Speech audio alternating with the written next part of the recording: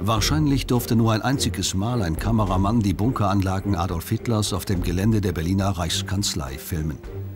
Ende der 80er Jahre hatte die DDR beschlossen, die Hinterlassenschaften des Dritten Reiches zu beseitigen. Nahe der Mauer am Potsdamer Platz sollten Plattenbauten für verdiente Bürger entstehen. Bevor die Decke des Tiefbunkers abgetragen und sein Inneres mit Schutt gefüllt wurde, dokumentieren diese Aufnahmen, was damals von der Anlage noch übrig war. Hier verbrachte der Diktator die letzten zwölf Tage seiner Herrschaft. Es war erkennbar, dass da ein, ein hoffnungsloser Mann vor allem steht. Hitlers Sekretärin tippte dort das Testament des Führers. Der Diktator schloss im letzten Moment den Bund fürs Leben. Da gab es wieder Tag und Nacht. Ich kann mich gar nicht mehr erinnern, wann Tag war und wann Nacht war da unten. Das war ja richtig richtig gesagt, eine Gruft da unten. Das Ende des Dritten Reiches. Und das war mein Arbeitsplatz. In dieser unterirdischen Luftschutzanlage setzte Adolf Hitler am 30. April 1945 seinem Leben ein Ende. Was genau hier unten geschah, lässt sich nur anhand von Zeugenaussagen derer rekonstruieren, die dabei waren, als der Diktator sein ruhmloses Ende inszenierte. Es war so konsequent wie seine menschenverachtende Herrschaft. In den Mittagsstunden des 25. April schließt die Rote Armee den Belagerungsring um Berlin, der aber noch für Tage zahlreiche Lücken aufweisen wird. Hitler weigert sich beharrlich, eine Kapitulation in Erwägung zu ziehen und lässt bedenkenlos Zehntausende Soldaten und Volkssturmmänner in den Häuserschluchten Berlins verbluten. Die Zustände in der Hauptstadt sind inzwischen chaotisch, denn in einigen Stadtteilen ist die Versorgung mit Lebensmitteln und Wasser zusammengebrochen. Die Gesellschaft im Führerbunker ahnt davon wenig. Hier ist die Versorgungslage entspannt. Die Reichskanzlei war an sich reich bestückt, also mit großen Vorräten. Sie stammten ja von besseren Zeiten her, wo eben dort große Empfänge und so weiter waren. Wir hatten also nie irgendwelche Sorge, dass wir irgendwie zu knapp, also mit Verpflegung waren. Das gab alles reichlich. Amateuraufnahmen aus dem Führerhauptquartier aus besseren Tagen. Ein ganzer Tross von Adjutanten und Stabsoffizieren ist rund um die Uhr damit beschäftigt, ihren obersten Befehlshaber über die militärische Lage zu informieren. Auch im Führerbunker unter der Reichskanzlei sind Dutzende Militärs aller Truppenteile damit beschäftigt, die Illusion von Handlungsfähigkeit aufrechtzuerhalten. An eine mutige Aktion zur sofortigen Beendigung der Tragödie denkt offenbar keiner von ihnen. Es hätte nur eines einzigen mutigen Generals aus seiner Umgebung bedurft, ihm einfach den Hals zuzudrücken. Der Mann war ja so schwächlich, der hätte ja nichts mehr ausgehalten. Also es hätte sich nur einer opfern müssen aus seiner Umgebung, äh, um, um diesem Elend da sozusagen ein Ende zu machen. Stattdessen haben sie alle ihr Männchen gemacht, äh, haben ihre zynischen Bemerkungen gemacht. Haben gesehen, dass sie irgendwie noch rauskommen oder wer nicht die Chance hatte, die Alkoholexzesse dort oder auch die Selbstmorde, die es gegeben hat, ähm, waren ja Hinweise darauf, dass eben ähm, diese ähm, äh, Untergangsstimmung eben äh, bei allen äh, verbreitet gewesen ist. Aus ihrer Ehe mit dem Industriellen Günter Quandt hat Magda Goebbels einen Sohn. Harald Quandt ist inzwischen 23 Jahre alt und dient dem Führer als Soldat. Am 28. April schreibt ihm seine Mutter einen Abschiedsbrief, der tiefen Einblick in ihre kranke Psyche bietet.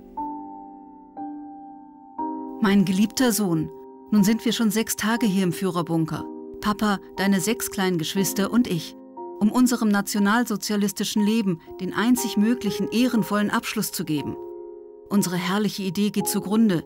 Mit ihr alles, was ich Schönes, Bewundernswertes, Edles und Gutes in meinem Leben gekannt habe.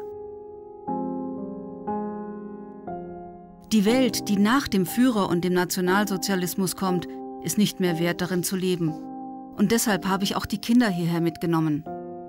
Sie sind zu schade für das nach uns kommende Leben, und ein gnädiger Gott wird mich verstehen, wenn ich selbst ihnen die Erlösung geben werde. Gestern Abend hat der Führer sein goldenes Abzeichen abgenommen und mir angeheftet. Ich bin stolz und glücklich. Gott gebe, dass mir die Kraft bleibe, um das Letzte, Schwerste zu tun. Wir haben nur noch ein Ziel.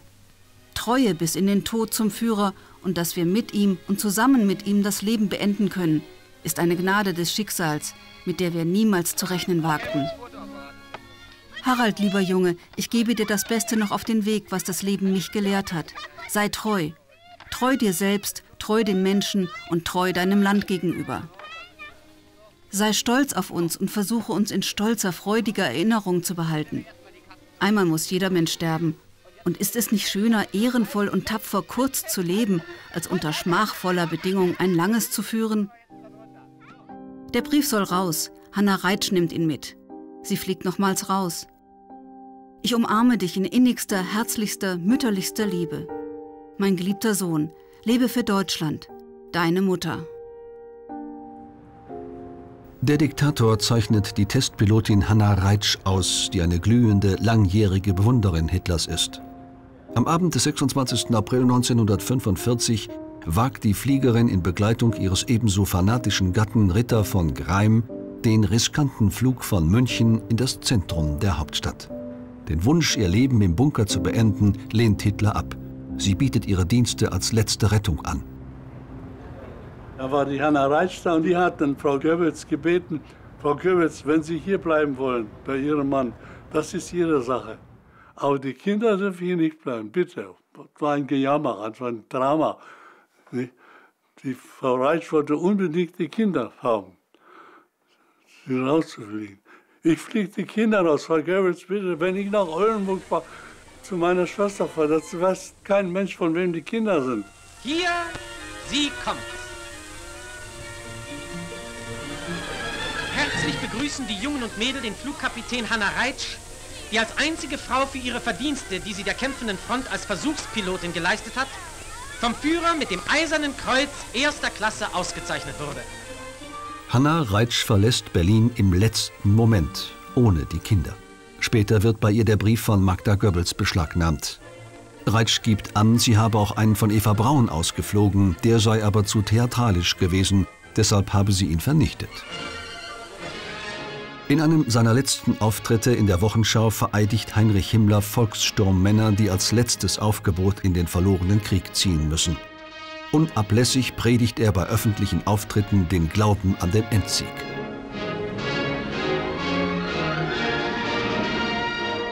Tatsächlich verhandelt der zweitmächtigste Mann im Dritten Reich seit Wochen mit Vertretern der Alliierten. Vermittler ist der Vizepräsident des schwedischen Roten Kreuzes, Graf Volke Bernadotte, ein Verwandter des schwedischen Königs, der die Freilassung von Häftlingen aus Himmlers KZ-Imperium erreichen will. Der SS-Chef benutzt die Lagerinsassen skrupellos als Geiseln, um für sich eine Zukunft auszuhandeln. Nördlich von Berlin, in Hohenlüchen, leitet ein Jugendfreund Himmlers ein luxuriöses Sanatorium der SS. Hier führt der Reichsführer ohne Wissen Hitlers sogar Gespräche mit Vertretern jüdischer Organisationen. Himmler ist nervlich extrem angespannt und kann sich nicht zu einer Teilkapitulation im Westen durchringen. Für den millionenfachen Massenmörder, der für Hitler den Völkermord an den Juden organisiert hat, ist die neue Rolle als Menschenfreund mehr als bizarr. Himmler ist noch unentschlossen, als die BBC am 28. April eine Nachricht verbreitet, die im Führerbunker wie eine Bombe einschlägt. Ein ganz entscheidendes Schlusserlebnis war ja also dann Himmlers Verhandlungsbereitschaft gegenüber dem Westen über den Grafen Volke Bernadotte. Und das kam eben am gegen Abend des 28. April, kam das über Reuter, wurde es bekannt. Und äh, das war eigentlich dann der Schlusspunkt. Von dann an hat Hitler eben auch klar gewusst, also jetzt ist nur der Treueste der Treuen, auf den er wohl am meisten gesetzt hatte, dass der also nun also auch Verrat beging, wie das also von ihm bezeichnet wurde. Das war für ihn der Auslöser, nun jetzt an das Ende zu denken. Himmler widerspricht dem Radiobericht vehement. Hitlers Misstrauen aber ist geweckt. Der SS-Chef verhalte sich wie ein Staatsoberhaupt, findet der Diktator, als sei er selbst schon entmachtet. Das kann er nicht dulden. Hitler ist außer sich vor Wut. Der treue Heinrich sei ein Verräter, der ihm den Dolch in den Rücken stoße. In ihrem Verhör durch den amerikanischen Geheimdienst erinnert sich Hitlers Sekretärin Traudel Junge auch an jenen 28. April 1945. Als ich Hitler an diesem Tag sah, stand er unter Schock. Eva Braun hat ihn einmal gefragt, warum der Reichsführer in diesen schweren Zeiten nicht an seiner Seite stünde. Hitler antwortete ihr, dass Himmler ihm draußen von größerem Nutzen sei, weil er Berlin so noch unterstützen könne. Nachdem die Nachricht von Himmlers Verrat ihn erreicht hatte, verband er rasch auch die Unfähigkeit der Steiner Armee mit diesem Komplott. Alle anwesenden Personen versetzte die Meldung in eine Art Schockzustand. Auch Enttäuschung spielte mit hinein. Sie alle hatten Himmler für einen der fanatischsten und treuesten Gefolgsmänner Hitlers gehalten. Dass kurz zuvor auch Göring versucht hatte, Verhandlungen mit dem Feind aufzunehmen, sorgte bei ihnen dagegen kaum für Überraschung. Nach diesem Vorfall wurde Hitler so argwöhnisch, dass er niemandem in seiner Umgebung mehr vertraute. Ganz besonders fürchtete er, dass Himmler vielleicht einen Anschlag plante, um ihn dem Feind lebendig auszuliefern.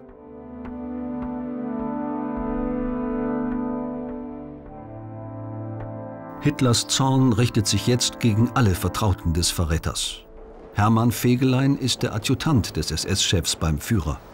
Gruppenführer Fegelein nimmt eine Sonderstellung ein, seit er Anfang Juli 1944 in Salzburg die jüngere Schwester von Eva Braun, Gretel, geehelicht hat. Einige aus dem Umkreis des Diktators glauben, der karrierebewusste SS-Offizier habe dies nur aus Kalkül getan. Im Bunker fällt Fegelein vornehmlich durch sein arrogantes Verhalten auf und durch vielsagende Äußerungen, er habe nicht vor, in Berlin zu sterben. Der Fegelein hat mich aus der Stadt angerufen und gefragt, wie ist die Lage. Ich habe ihm das am Telefon, wusste ja nichts, also wunderte mich nur, dass er also irgendwie von auswärts anrief, denn normalerweise hätte er eigentlich da im Bunker sein müssen. Aber der hat sich kaum mehr im Bunker gezeigt und war also eben, äh, hatte eben eine Wohnung dort, angeblich äh, spielte da irgendwie auch eine Frau noch eine Rolle und so weiter. Und, aber die Leute vom Sicherheitsdienst, die wussten, wo er war. Die Hescher finden ihn in seiner Wohnung in Charlottenburg, angeblich in Begleitung einer Freundin, betrunken und mit viel Geld, das er für seine Flucht in Tüten verpackt hat. Hitler lässt den Fahnenflüchtigen unverzüglich in die Reichskanzlei bringen. Ich mochte den Fegelein nicht, das war ein Filou. Aber trotzdem, ich kann eigentlich nicht verstehen, warum der Fegelein noch dran glauben musste. Es war so menschlich. Er war jung verheiratet, seine Frau, die Schwester von der Eva erwartete ein Kind. Und er war Evas Schwager und ich, ich hätte eigentlich gewünscht, dass er sagt, naja, ist verständlich, dass er da menschlich reagiert. Wo er weiß, es ist alles verloren. Ich habe es eigentlich nicht verstanden.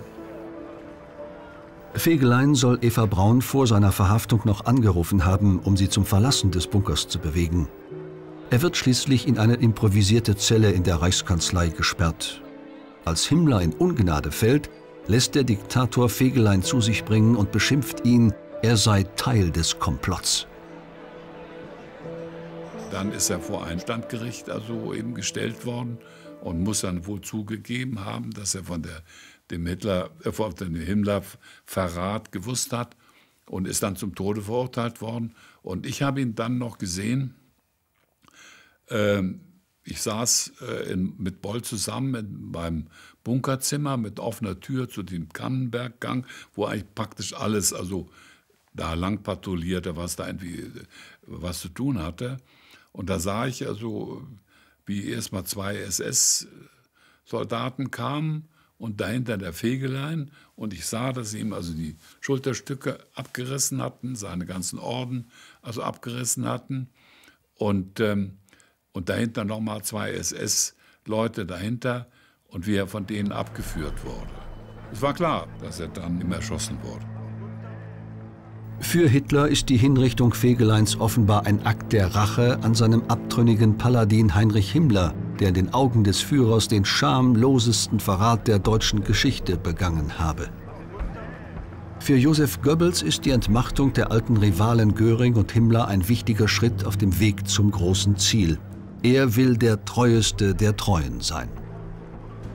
Einziger Konkurrent um die Gunst des Führers ist jetzt Parteisekretär Martin Bormann, der das uneingeschränkte Vertrauen Hitlers genießt.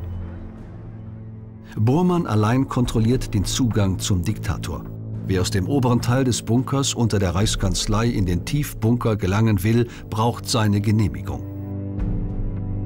In der 250 Quadratmeter großen Betongruft halten sich nur noch eine Handvoll enger Mitarbeiter auf, die ihrem Chef jederzeit zu Diensten sind. Wie üblich wurden wir auch in der Nacht zum 29. April zum Tee mit Hitler gebeten.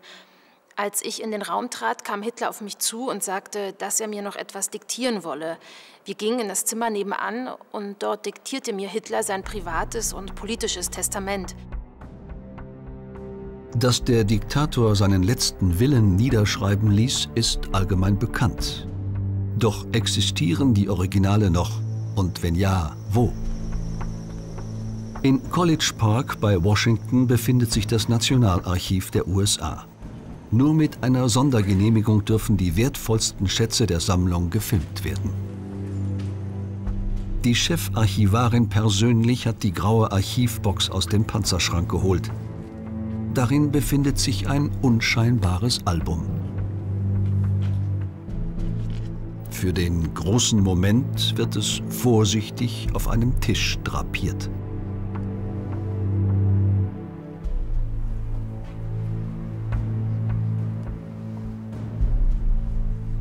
Es enthält die Originale aus jener Nacht im Führerbunker.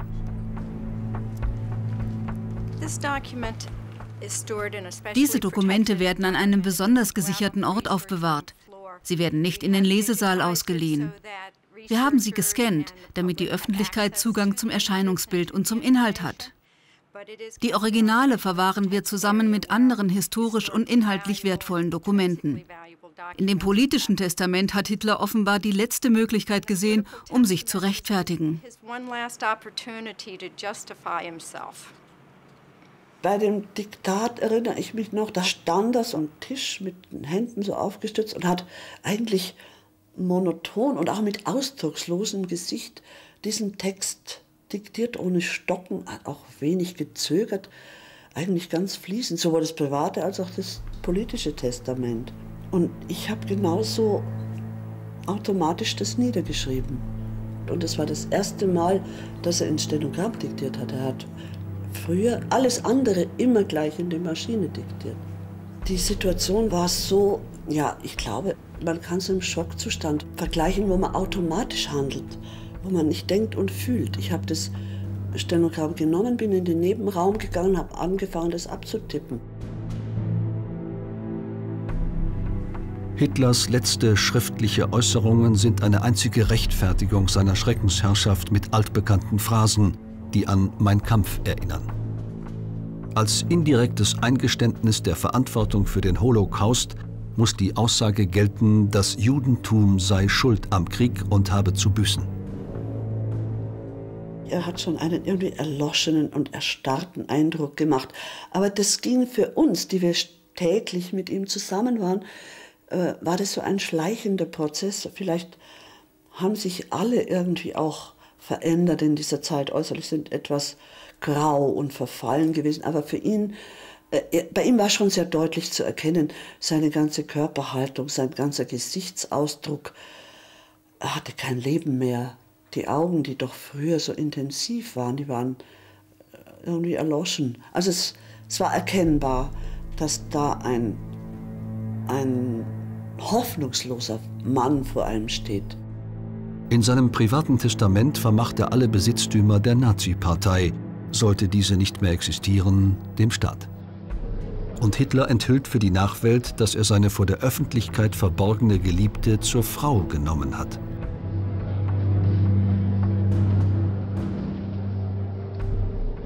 Eva Braun eröffnete mir und Frau Christian am Nachmittag, dass es am Abend Anlass geben würde, ein paar Tränen zu vergießen. Auf unsere Frage, ob Hitler etwa beabsichtige, noch in dieser Nacht Selbstmord zu begehen, antwortete sie mit einem Nein, der Grund sei ein anderer. Die Eva Braun hat an dem Tag etwas ganz Merkwürdiges gesagt. Die hat zu mir gesagt, heute werden Sie noch weinen. Da habe ich gedacht, es ist schon soweit, äh, denn sie hat immer gesagt, der Führer wird schon sagen, wenn er sich, wenn der Tag kommt, wo er sich äh, umbringen wird. Und dann hat sie gesagt, nein, nein, nein, nicht, nicht das. Und sie hat eben gemeint, sie wusste, dass sie, dass sie heute noch heiraten wird.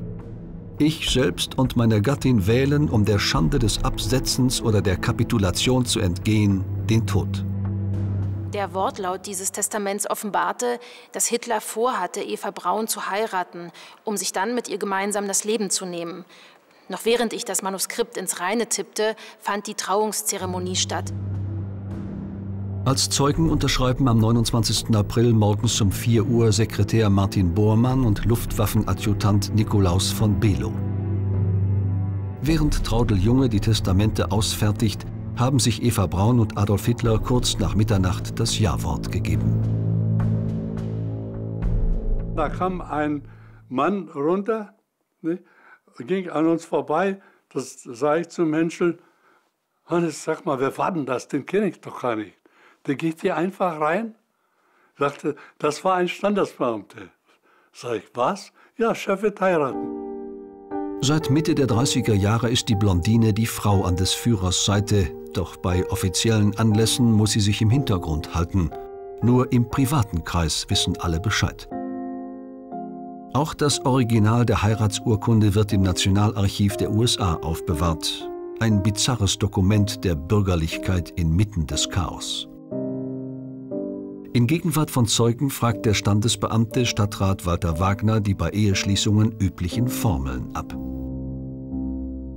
in dem Erdgeschoss der Reichskanzlei, da war so ein Saal, da hat man notdürftig so eine Art äh, Traualtar oder Tisch hergerichtet. Und als sie zurückkam und dann ihre Unterschrift unter den, den, Ehevertrag gesetzt hat, da hat sie dann die Glückwünsche entgegengenommen und da bin ich auch noch in dieser Reihe mit dabei gewesen.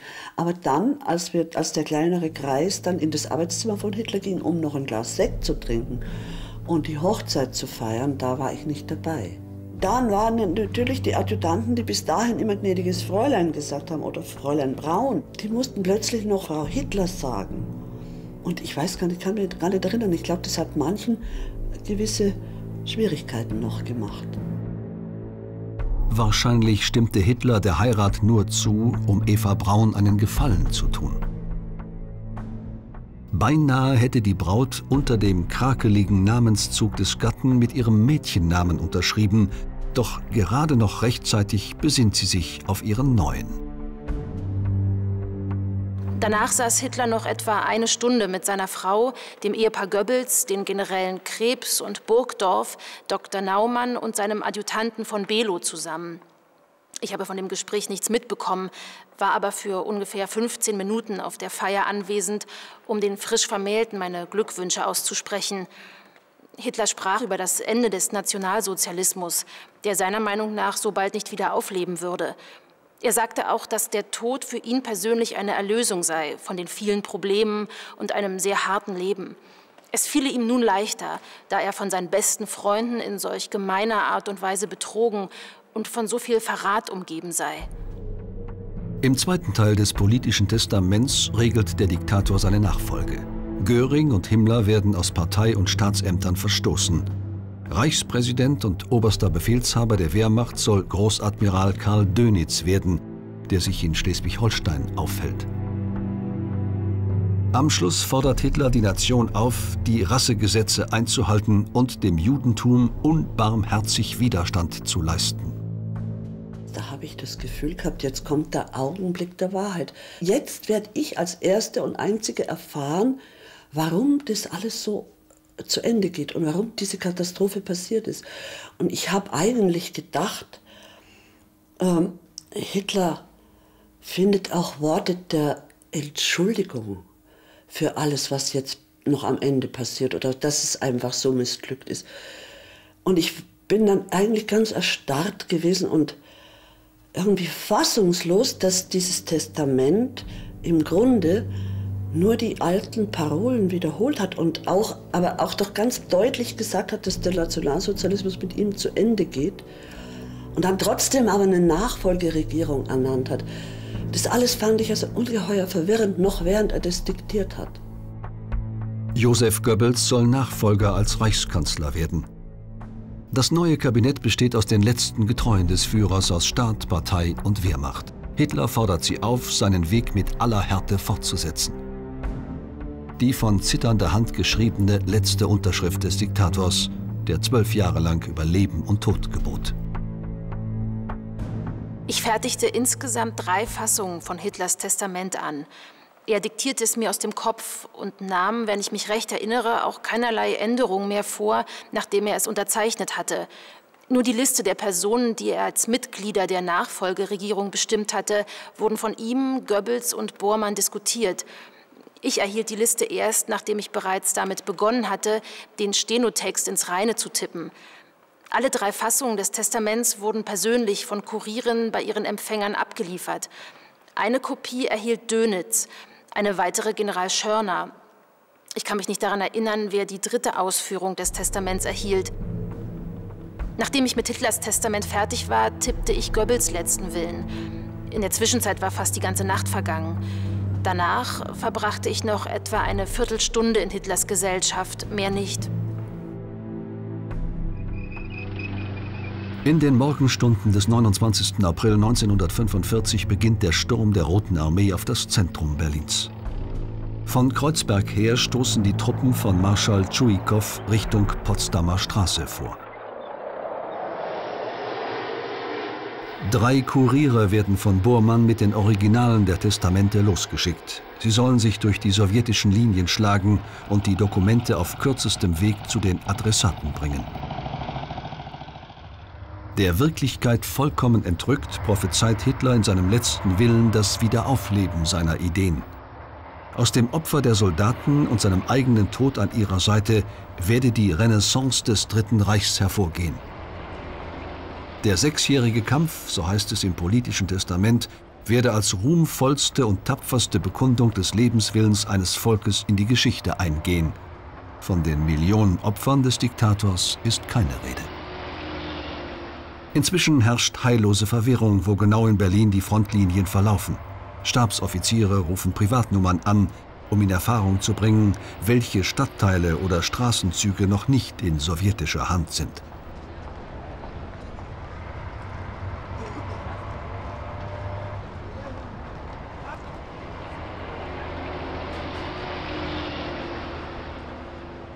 Die Rote Armee ist Luftlinie nur noch etwa 400 Meter von der Reichskanzlei entfernt. Nur kurze Zeit bleibe dem Diktator noch, glauben seine Militärs. In den späten Morgenstunden ging ich zurück in die Bunkerräume Hitlers, um zu sehen, ob sich in der Zwischenzeit irgendetwas getan hatte. Dort bemerkte ich das rege Kommen und Gehen der Kuriere von der Front.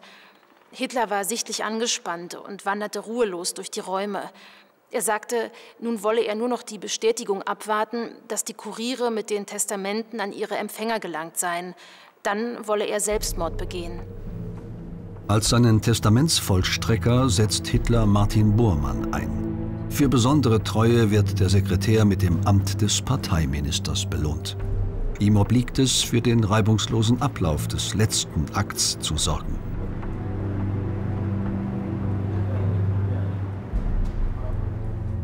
Beim Original des Testaments befindet sich ein Begleitschreiben Burmanns an Großadmiral Dönitz, in dem er die Lage als hoffnungslos bezeichnet.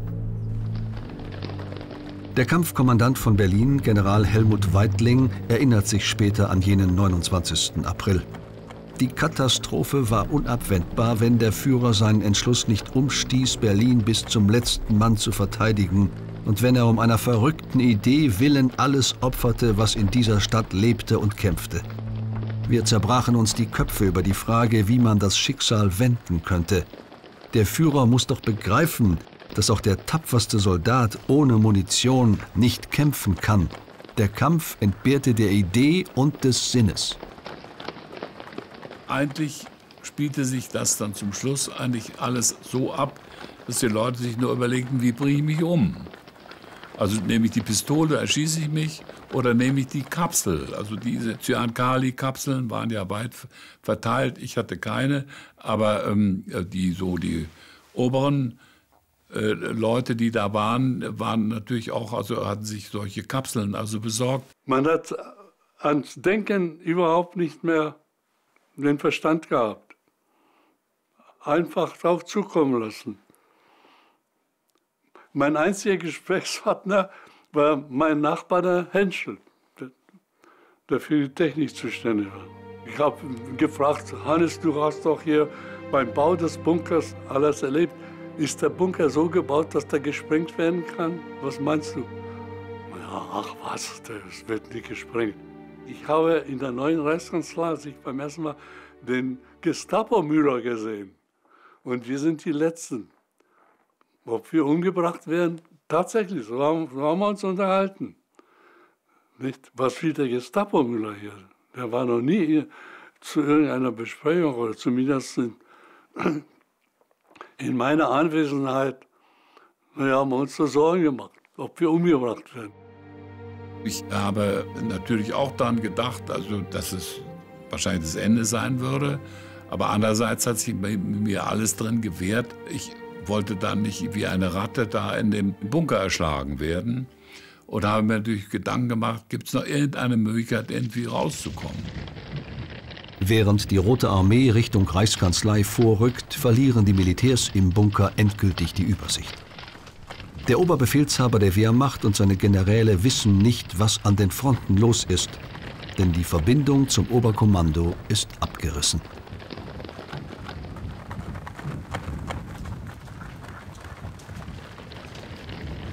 Weil Hitlers Militärs seit Tagen keine Nachricht mehr von General Wenck erhalten haben, fassen einige Adjutanten einen kühnen Plan, um dem Tod im Bunker zu entrinnen. Sie wollen durch die sowjetischen Linien brechen und mit der 12. Armee Verbindung aufnehmen. Hitler hatte damals schon vollkommen abgeschlossen und er hat das dann genehmigt. Und wir haben uns dann offiziell bei ihm abgemeldet. Nicht? Am Mittag des 29. 24 Stunden vor seinem Tod. Er war vollkommen gesammelt. Er hat sich ungefähr eine halbe Stunde mit uns unterhalten noch, wie wir rauskommen wollten. Hat sich das genau erklären lassen. Und da kam er auf die Idee, ach wissen Sie, Sie müssen sich ein elektrisches Motorboot nehmen. Und ähm, ich dachte, um Gottes Willen, äh, mit einem Panzerkreuzer wollen wir das nicht machen. Er sagte, er ist doch geräuschlos und so weiter und so weiter.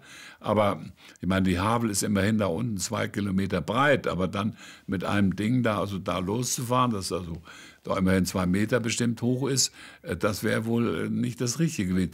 Aber ich habe mich also über die, die, das Transportvehikel dann letzten Endes also nicht mit ihm eingelassen, über die Diskussion darüber. Aber ich hatte irgendwie den Eindruck, irgendwie war er eigentlich neidisch.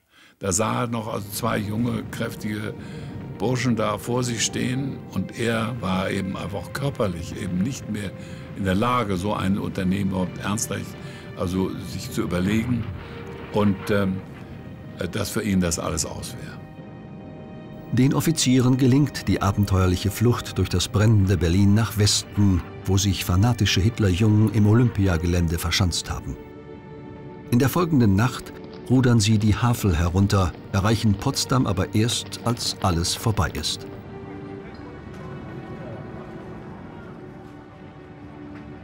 Ein deutscher Soldat schreibt in sein Tagebuch, Leichter Verwundete finden kaum noch irgendwo Aufnahme. Die Zivilisten fürchten sich, verwundete Soldaten und Offiziere im Keller aufzunehmen. Zu viele sind als echte oder vermeintliche Deserteure erhängt worden. Fliegende Feldgerichte tauchen heute bei uns besonders häufig auf. Meistens ganz junge SS-Führer. Kaum eine Auszeichnung. Blind und fanatisch. Die Hoffnung auf Entsatz und gleichzeitig die Furcht vor den Gerichten rappelt die Männer immer wieder auf. Eva Braun erwähnte gegenüber Hitler die vielen Frauen, die sich vor den Russen in den Bunker geflüchtet hatten. Krankenschwestern, BDM-Mädchen und so weiter. Sie würden jetzt im Bunker als Küchengehilfinnen arbeiten. Später am Nachmittag befahl Hitler dann allen Frauen, die im Bunker arbeiteten oder sich dort aufhielten, zu ihm in den Führerbunker zu kommen. Er reichte jeder persönlich die Hand und dankte den Frauen für ihren Einsatz. Dabei lächelte er sie an und fragte sie nach ihren Zukunftsplänen. Er klopfte ihnen auf die Schulter und damit waren sie entlassen. Dass das ein Abschied war, ahnten sie nicht. Die SS-Ärzte Ernst Günther Schenk und Werner Hase tun in einem Behelfslazarett in der Reichskanzlei Dienst. Schenk erinnert sich an die seltsame Abschiedsszene. Hitler kam aus dem unteren Bunker herauf und ich sah ihn so etwas von oben auf vielleicht ein, zwei Meter Entfernung und war also entsetzt. Das war kein Mensch mehr, der war nicht mehr diesseitig und in dem Moment begriff ich, dass wirklich alles, alles kaputt und verloren war. Und die eine Schwester drehte da bei diesem Anblick durch und sagte, Heil, mein Führer, wir folgen dir bis zum Tode und so weiter. Und da sagte er dann nur mit seiner Stimme, man soll sich seinem Schicksal nicht feige entziehen wollen, drehte sich rum und ging dann wieder in seine Räume. Und dann habe ich kurze Zeit später noch mal gesehen, da unten, ich ging da auf die Toilette und kam zurück und da saß er zusammen mit Hase in dem kleinen Gang und da hat ihm Hase die sichere Wirkung der Blausäure demonstriert, indem er dem Hunde Blondi, dem Lieblingsschäferhund Hitlers, eine solche Kapsel ins Maul steckte und dort zerdrückte und Hitler zeigte, wie schnell das Tier tot war. Man muss Blausäurekapseln in den Mund nehmen, zerbeißen und im selben Moment so indem man sie zerbeißt, auch die Pistole abdrücken, dann ist man sicher entweder so oder so ganz sicher tot. Frau Christian und ich hatten Hitler gebeten, auch uns eine Giftampulle zu geben, da wir von den Russen nichts Gutes erwarteten. Zuerst probierte Hitler das Gift aber an seinem Hund aus. Er war misstrauisch, da Himmler ihm die Ampullen gegeben hatte, und er zweifelte an der Wirksamkeit des Gifts. Erst als der Hund nur wenige Sekunden nach der Einnahme verendete, gab er auch uns die Ampullen. Er sagte, es täte ihm leid, dass er uns zum Abschied kein schöneres Geschenk machen könne. Wir seien sehr mutig und er wünschte, seine Generäle hätten so viel Mut und Courage wie wir Frauen. Danach gingen wir und legten uns ein paar Stunden schlafen. Doch bald wurde ich wieder geweckt vom Höllenlärm des Artilleriefeuers und der Bomben draußen. Ich ging zurück in Hitlers Bunkerräume und wartete auf die Entscheidung. Ich beschäftigte mich auch mit den Goebbels-Kindern und ging in die Küche, um Kaffee zu kochen. Das Oberkommando erhält abends um elf einen Funkspruch Hitlers, in dem der Diktator sich nach den Standorten der 9. und der 12. Armee erkundigt. Um kurz vor drei antwortet Feldmarschall Wilhelm Keitel aus seinem Hauptquartier die genannten Einheiten seien nicht in der Lage, ihren Angriff auf Berlin fortzusetzen. Entsatz von Berlin und Wiedereröffnung Zugangs von Westen her nicht mehr zu erhoffen, heißt es in dem Funkspruch. Schlage Ausbruch über Potsdam zu Wenk vor, andernfalls Abflug des Führers nach Südraum. Nun ist vollkommen klar, dass es keine Hilfe von außen mehr geben wird.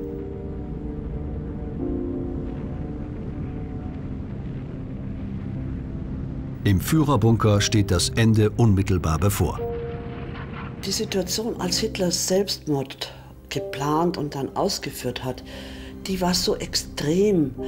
Da waren alle, die in dem Bunker noch versammelt waren, irgendwo in einem merkwürdigen Zustand der irrealen, das war wie ein Schockzustand. Da waren keine normalen Emotionen mehr erkennbar. Wir haben uns alle wie Marionetten bewegt, habe ich das Gefühl. Ähm, das war, das wurde dann so, so hingenommen, nach außen hin ruhig. Aber ich glaube, es hat doch jeder mit seiner Angst und mit seiner Sorge gekämpft. Beim Essen sagte Hitler dann, dass es für ihn keinen anderen Ausweg gebe als Selbstmord, denn er wolle niemals, weder tot noch lebendig, in die Hand der Feinde fallen. Er hatte vom schmachvollen Tod Mussolinis gehört und erwartete ebenso behandelt zu werden. Er könne auch nicht an der Seite seiner Soldaten kämpfen, denn im Falle seiner Verwundung wäre niemand in der Nähe, ihm den Gnadenschuss zu geben, sollte er dazu selbst nicht mehr in der Lage sein. Er erschien mir ruhig und gefasst. Auch Eva Braun schien sich selbst gut im Griff zu haben, obwohl ich wusste, wie sehr sie die Wirkung des Gifts fürchtete, das sie seit Tagen mit sich herumtrug.